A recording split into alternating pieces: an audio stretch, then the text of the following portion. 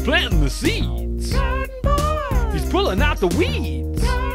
He's gonna bring you to your knees.